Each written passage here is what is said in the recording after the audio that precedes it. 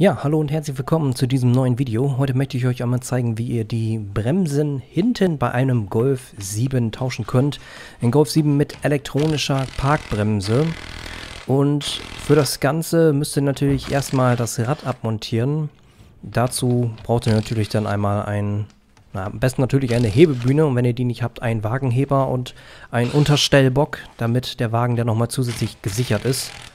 Schaut einmal nach, ob sich dort noch irgendwo ein Felgenschloss befindet und demontiert dann dieses dementsprechend auch mit ab. Das Rad kann sein, dass es immer so ein bisschen fest sitzt, also dann müsst ihr da vielleicht mal ein bisschen gegenhauen oder so, das ist völlig normal.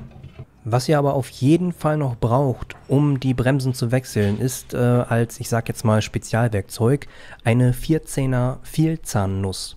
Den Link dazu findet ihr in der Videobeschreibung. Da müsst ihr nämlich zwei Schrauben mit lösen die unheimlich wichtig sind. Wie müsst ihr nämlich lösen, damit ihr nachher die Bremsscheibe auch tauschen könnt.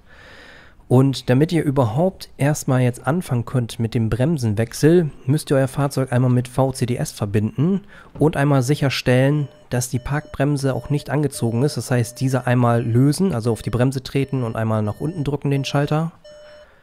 Und dann löst sich sozusagen dann die Feststellbremse hinten. Dann verbindet ihr das Ganze mit VCDS, geht ins Bremsenelektronik-Steuergerät rein, geht dort auf Grundeinstellungen und wählt dort dann den Bremsbelag-Modus aus, also Bremsbelag-Wechselmodus starten. Und wenn ihr da drauf tippt, hört ihr schon dieses Geräusch. Und jetzt ist der Kolben da drinnen so weit zurückgefahren, dass ihr den Bremssattel abnehmen könnt. Wenn ihr jetzt in den Fehlerspeicher reinschaut, dann seht ihr auch, dass dort steht, dass der Bremsbelagwechselmodus aktiv ist. Danach könnt ihr VCDS jetzt erstmal wieder schließen. Jetzt fangen wir an oben mit den Kappen. Das heißt, hier sind so zwei Kappen drinne. Also ich selber nutze dafür immer Torx-Bits, weil die einfach noch ein bisschen besseren Grip haben als normale Sechskant im Bus Schrauben, also normale Sechskant-Bits. Und damit klappt das eigentlich relativ gut. Wichtig ist eigentlich immer bei Schrauben, aber das werden wir nachher auch noch merken, Hebelkraft. Also je mehr Hebelkraft ihr irgendwie da drauf bekommt, desto besser und schneller und einfacher lassen sich die Schrauben lösen und vor allem auch sicherer. Also das ist schon wirklich sehr gut. Also so, wenn ihr euch das so anschaut, habt ihr natürlich viel Hebelkraft und sowas. Und ihr müsst auf jeden Fall aufpassen auf die Leitung, also auf die Bremsleitung hier dass die nicht irgendwie zerknickt oder zu weit strapaziert wird. Das ist ganz wichtig. Und das sind diese Bolzen, die da dann drin stecken. Die holt ihr dann jeweils einmal raus, die beiden. Also es sind so zwei Stück. Und dann könnt ihr vorne noch einmal die Klammer entfernen. Die könnt ihr so raushaken. Und ansonsten mit einem Schraubendreher oder sowas einmal ein bisschen rausziehen, dass das gelöst ist. Dann könnt ihr hier einmal so vorsichtig so drunter haken, um das einmal anzuhebeln und den Rest könnt ihr eigentlich in der Regel so einfach abziehen. Passt aber dann nur auf, wenn ihr den Bremssattel jetzt wieder in der Hand habt, mit der Bremsleitung, dass das nicht irgendwie auf Spannung irgendwie hängt oder sowas. Da müsst ihr auf jeden Fall mal mega drauf achten. Das sind die alten Belege, schaut euch das auch an. Hier seht ihr auch, die Klammer sitzt innen. Immer innen, nicht außen, sondern diese Klammer an dem Bremsbelag sitzt innen.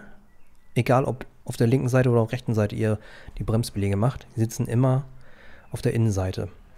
Und hier seht ihr auch, die Belege, die sind auf jeden Fall noch gut. Also da könnte man noch etliche Kilometer mitfahren, tausende Kilometer. Aber trotzdem werden die jetzt hier einmal für euch gewechselt. Hier sitzen übrigens auch noch Sensoren und Stecker und da müsst ihr auf jeden Fall auch einmal aufpassen, dass ihr da nicht irgendwas beschädigt oder abreißt etc. Das ist auf jeden Fall immer mega, mega wichtig. Also im Prinzip haben wir jetzt ja schon den Bremssattel runter und die Bremsbelege sind ja auch gelöst. Es geht jetzt eigentlich nur noch einmal darum, um die beiden hinteren Schrauben, die mit diesem Vielzahn festsitzen, also mit diesem 14er Vielzahn. Und auch da empfehle ich euch einfach, versucht wirklich den größtmöglichsten Hebel, die Hebelkraft dort anzuwenden, um das irgendwie zu lösen. Und ähm, ich habe jetzt leider nicht so einen riesigen Hebel, deswegen habe ich jetzt nur den Drehmomentschlüssel, den nimmt man auf jeden Fall nicht zum Lösen, sondern nur zum Festziehen. Mir blieb jetzt allerdings nichts anderes übrig, also habe ich den so ein bisschen missbraucht. Aber nehmt den bitte nicht zum lösen. Drehmomentschlüssel sind immer nur zum Festziehen geeignet, sonst kann die Mechanik da drinnen kaputt gehen. Und wichtig ist auch, wenn ihr das nicht wirklich abbekommt, diese Schrauben, wie es bei mir der Fall war, sie waren wirklich extremst fest, dann äh, seht auf jeden Fall zu, dass ihr diesen Torx-Bit irgendwie reinhämmert, so gut es geht. Dass der wirklich fest drinne sitzt. Das ist wichtig. Und wenn ihr am Drehen seid, dass ihr dann diese Knarre auch oben direkt an, der, an dem Winkel sozusagen, also an dem Gelenk da oben, einmal festhaltet und dann erst versucht, das Ganze zu lösen. Ihr könnt natürlich auch alternativ mit einem Schlagschrauber versuchen, das Ganze zu lösen. Das habe ich auch zwischendurch gemacht. Ähm, ist aber eigentlich nicht empfehlenswert, weil Schlagschrauber meistens so viel Power haben oder zu viel Power, dass sie dann, naja, die Schraube davon auch kaputt gehen kann oder der Bit abreißt etc. Es ist also zum Lösen eigentlich auch nicht geeignet, aber diese Dinger saßen wirklich so unheimlich fest. Aber wenn ihr die einmal geknackt habt, dann habt ihr eigentlich das Gröbste hinter euch. Das sind also die, das ist der schwierigste Part an allem. Wenn diese Schrauben festsitzen, dann habt ihr echt ein bisschen zu tun und das Ganze hält zeitlich sehr auf. Lassen sich diese Schrauben schnell lösen, dann ist der Wechsel von den Bremsen auch wirklich ruckizucki gemacht. Hier habe ich jetzt auch die zweite Schraube erwischt und lose bekommen. Ich versuche nochmal so ein bisschen das weiter auszuleuchten, könnt ihr das besser sehen. Ja, und auch hier auf jeden Fall immer irgendwie aufpassen mit den Kabeln und den Schläuchen von dem Bremssattel. Ist das alles ein bisschen ungünstig hier, also deswegen halte ich mit der zweiten Hand meistens auch mit dem Bremssattel so ein bisschen fest, damit er nicht irgendwie auf Spannung sitzt etc. So, und jetzt sehen wir hier nochmal diese fiese 14er Vielzahnnuss oder Schraube, eher gesagt, die halt so festsitzen, diese beiden. Wenn ihr die gelöst habt, wie gesagt, dann ist das alles nur noch ein leichtes Spiel. Und jetzt können wir nämlich diesen Halter hier noch rausmachen für die Bremsbelege und damit dann auch die Bremsscheibe jetzt leicht lösen. Also normalerweise sind es jetzt neuerdings immer so Torx-Schrauben, die da drin sitzen. Früher waren das auch nur einfache Kreuzschrauben, auch wahrscheinlich heute noch zum Teil, je nach Hersteller.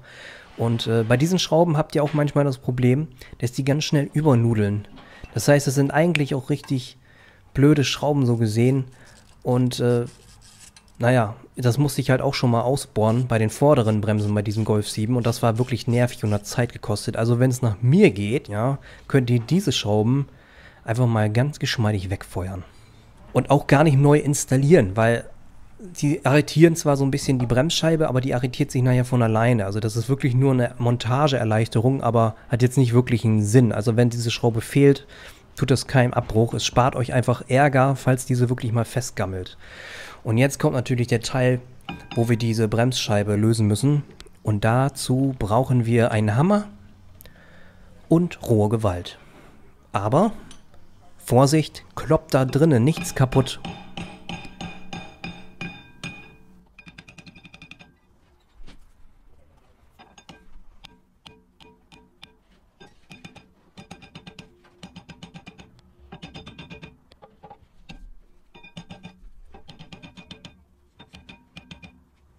Es kann eine Weile dauern und diese Bremsscheibe kann wirklich ultra fest sein. Also habt da ein bisschen Geduld. Macht einfach ein bisschen weiter. Ich habe es dann auch nochmal zusätzlich ein bisschen eingesprüht, aber das sehen wir gleich nochmal. So einfach ein bisschen Power-Rostlöser draufsprühen, dass das dann einmal kurz einwirken kann, auch auf der Rückseite. Das kann man jetzt hier gerade leider nicht sehen.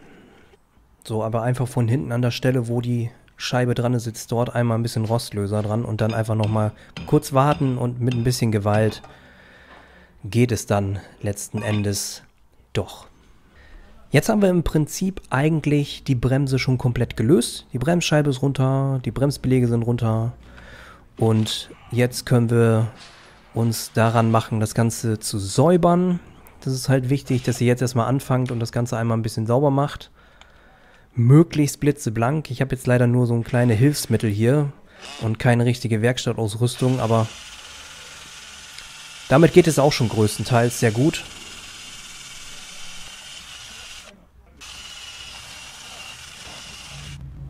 Wichtig ist übrigens auch, dass wenn ihr schon dabei seid und hier das Ganze einmal irgendwie von Rost befreit, dass ihr da irgendwie eine Schutz eine Schutzmaske tragt etc., weil dieser Bremsstaub, der sich dann da abmacht, ist überhaupt nicht gesund.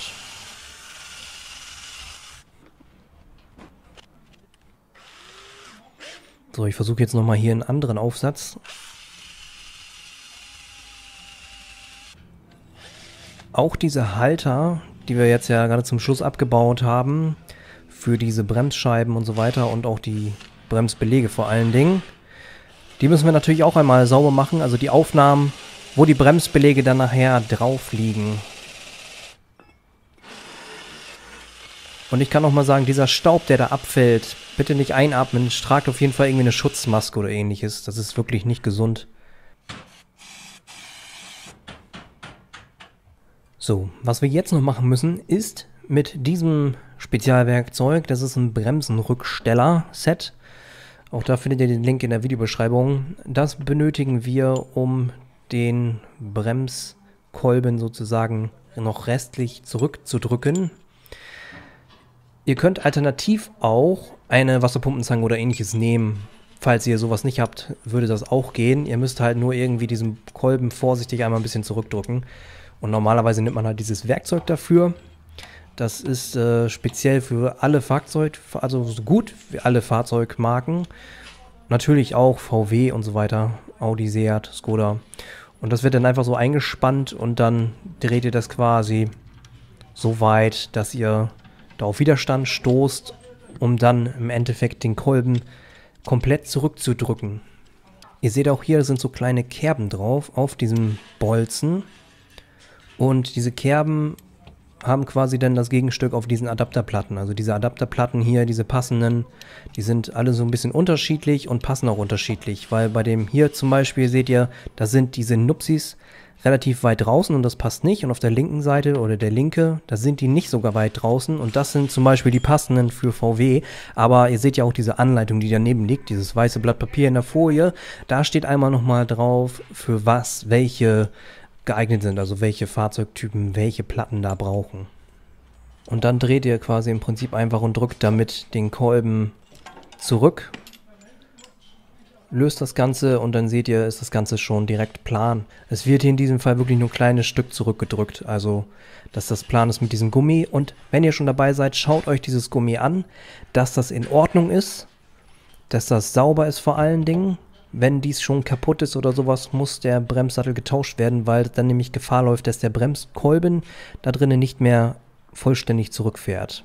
Jetzt, wo wir alles sauber haben und so weiter, geht es an den Rückbau und den Einbau der neuen Bremsen. Dazu nehmen wir uns natürlich eine neue Bremsscheibe und montieren sie wieder gerade drauf.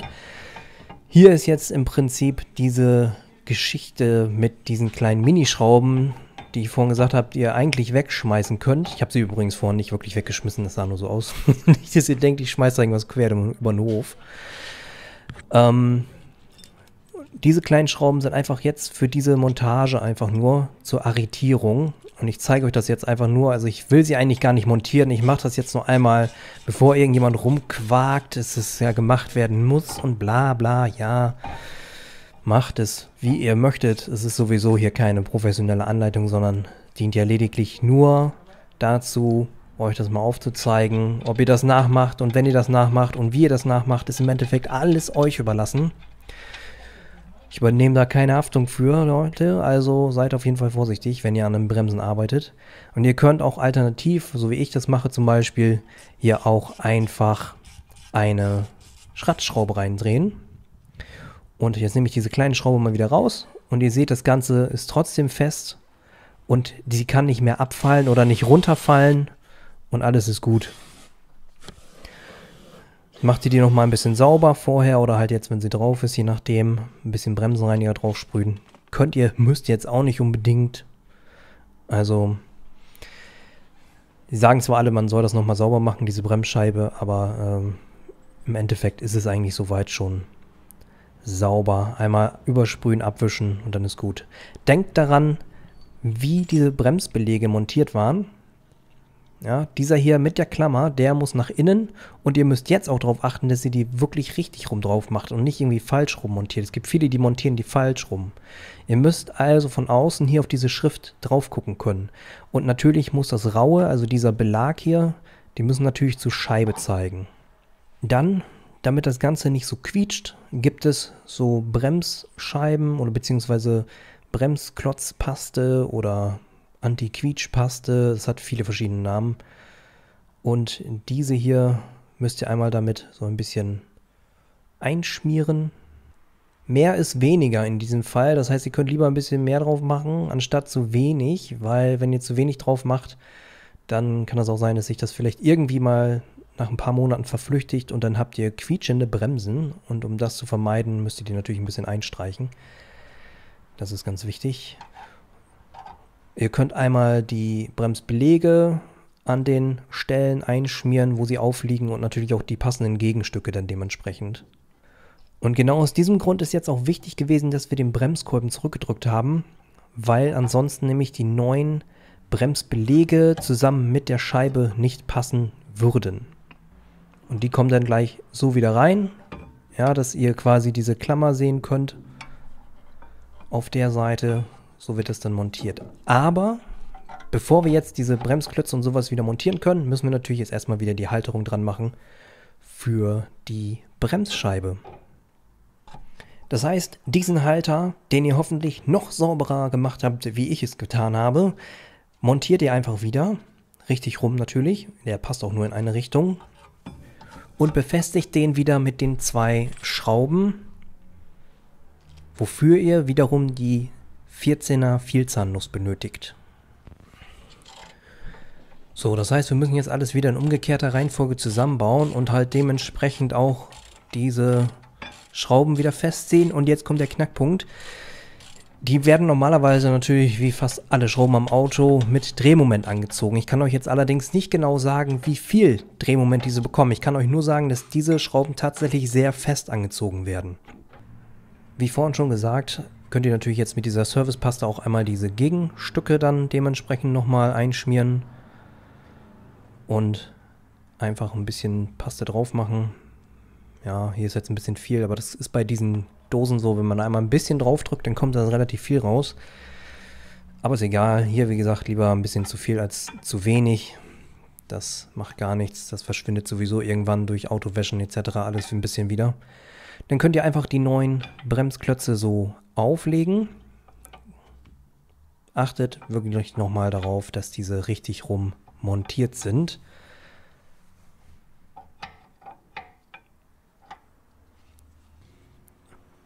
Und auch hier nochmal der Hinweis, die Klammer sitzt innen. Und dann könnt ihr einfach das ganze Teil nochmal nehmen hier, den schönen Bremssattel und stülpt ihn im Prinzip einfach nur wieder drauf. Und ja, das war's eigentlich schon. Der Bremskolben ist zurückgedrückt, die Bremsbelege sitzen drauf, der Bremssattel kommt drauf und jetzt schraubt ihr das mit diesen Schrauben wieder fest. Diese Schrauben könnt ihr übrigens auch ein bisschen einfetten. Also nicht am Gewinde, sondern drumherum außen am Metall, damit diese gängig bleiben. Das habe ich jetzt in diesem Fall hier nicht gemacht, aber ihr könnt das gerne machen. Und dann schraubt ihr die auch einmal wieder fest. Und diese oberen Schrauben müsst ihr auch festziehen, aber nicht so brutal festziehen. Also die brauchen jetzt nicht irgendwie 1000 Newtonmeter oder sowas. Also die könnt ihr ganz normal fest anziehen und dann vielleicht nur eine kleine Vierteldrehung oder sowas dran. Also die müssen jetzt nicht übertrieben fest sitzen. Und eigentlich ist es kein Hexenwerk, diese Bremsen zu tauschen, auch mit dieser elektronischen Parkbremse nicht. Ähm, es gibt auch Möglichkeiten, habe ich schon gesehen, im Netz werden die angeboten, wie man das Ganze ohne VCDS äh, zu nutzen zurückdrückt oder wie auch immer. Aber das kann ich euch empfehlen, macht das nicht, weil ihr könnt damit wirklich die Mechanik in diesem Bremssattel kaputt machen, der dafür auch zuständig ist, also diesen Motor, dass das vor und zurück fährt. Also wenn ihr Bock habt, das kaputt zu machen, dann macht es einfach so ohne VCDS und ansonsten macht es mit einem Diagnosegerät ganz normal, wie man das auch in der Werkstatt machen würde.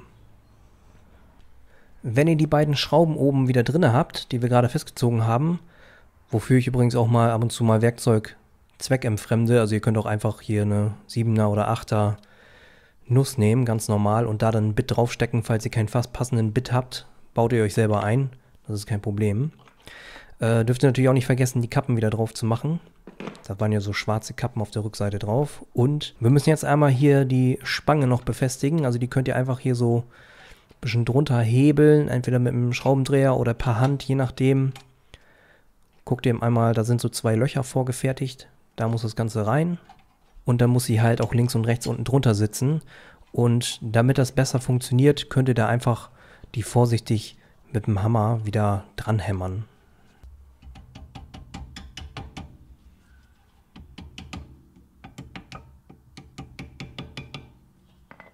So, das war's schon. Jetzt sitzt die Spange wieder fest. Und alles ist soweit montiert und fertig. Damit wir das Rad wieder montieren können, demontieren wir einmal ganz kurz diese Schraube, beziehungsweise lösen sie und nehmen sie ab. Und jetzt seht ihr, wie sich das halt verhält ohne diese Fixierschraube, weil die habe ich jetzt ja vorhin wieder rausgenommen. Und ihr seht, dass das noch ein bisschen locker und lose ist. Das ist aber nicht schlimm, weil das zieht sich gleich eh fest, wenn wir das Rad wieder drauf machen. Dann zieht sich die Bremsscheibe auch fest. Und komplett festdrücken wird sich das Ganze, sobald ihr die Bremse sowieso mal betätigt. Aber das machen wir jetzt ja noch nicht, weil wir müssen ja gleich noch auf der anderen Seite das fertig machen. Das erspare ich euch jetzt aber weil ich habe euch das jetzt ja auf dieser Seite gezeigt und genau so funktioniert das halt auf der anderen Seite auch, also auf der linken Seite. Und damit alle zufrieden und glücklich sind, montiere ich jetzt einfach nochmal diese kleine Feststellschraube.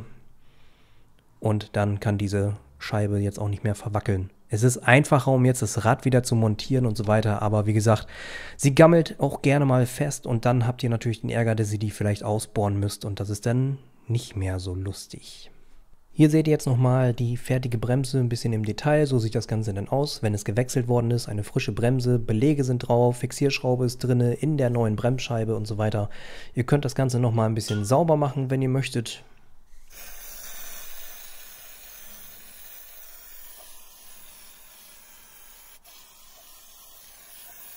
Und wenn ihr dann losfahrt und leicht bremst, dann habt ihr auf jeden Fall immer so ein leichtes Schleifgeräusch am Anfang. Das heißt, Bremsen müssen so ein bisschen eingebremst werden. Wenn ihr natürlich bremsen müsst, dann müsst ihr bremsen. Sicherheit geht immer vor, aber am Anfang vielleicht einfach ein bisschen sanft bremsen, nicht so stark in die Eisen gehen. Und dann habt ihr am Anfang noch dieses leichte Schleifgeräusch. Das ist halt dieser Belag, der sich ein bisschen abreibt. Das ist völlig normal. Es sollte aber nach ein paar Kilometern dann auch weg sein.